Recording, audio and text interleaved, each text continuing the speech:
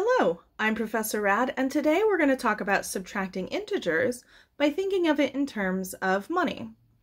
So when we talked about um, adding integers using money, just a reminder that positive numbers were deposits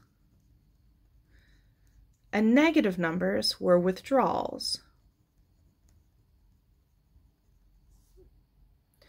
When we think of things in terms of addition, if I had a number plus a number, it would be like making either the deposit or the withdrawal, and then making another deposit or withdrawal. The way we're going to think about subtraction,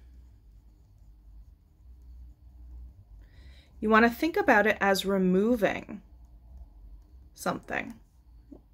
So if I'm subtracting a positive number, I want to think of it like removing a deposit. And if I'm subtracting a negative, that's like removing a withdrawal. So, for example, if you ever have a company that uh, charges you too much for something, um, and then what they do is they remove that withdrawal and they credit your account, they give you money back. So, if I remove a withdrawal, it's like putting money back into the account, right? It's like taking away a charge. So let's look at a few examples um, of subtraction, and we're going to think about it in these terms. So if I have a deposit of $8 and then I remove a deposit of $12, I can also think of that like I've got $8 in my account and then I remove $12 from my account. So I've emptied my account and then some because I took out more money than I had. So how much over did I go? Well, I took out 8, 9, 10, 11, 12. So 4. So 8 minus 12 is a negative 4 because I've taken out more than I had in there.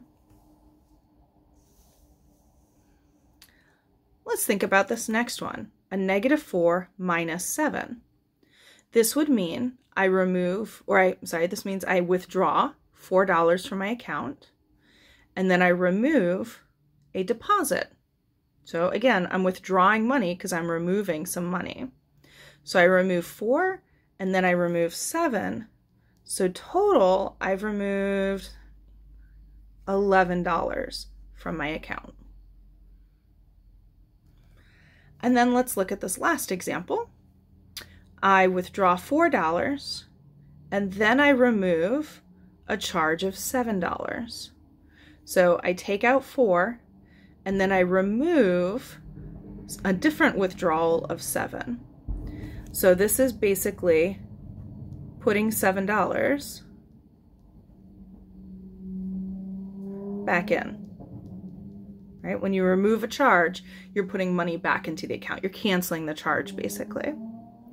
So I took out seven and then I put, or sorry, I took out four and then I put seven back in so I've put back in the four that I took out and then some, right? So I put back in those four, five, six, seven. So I end up with $3 total in the account. All right, so that's going to wrap it up for this example of uh, subtracting integers using um, terms of money. In the next video, we're going to see what happens with the little like battle between the circles and squares um, when we go to subtract. So that will be a, another way of thinking about it. So um, I hope you found this helpful and I will see you next time. Bye.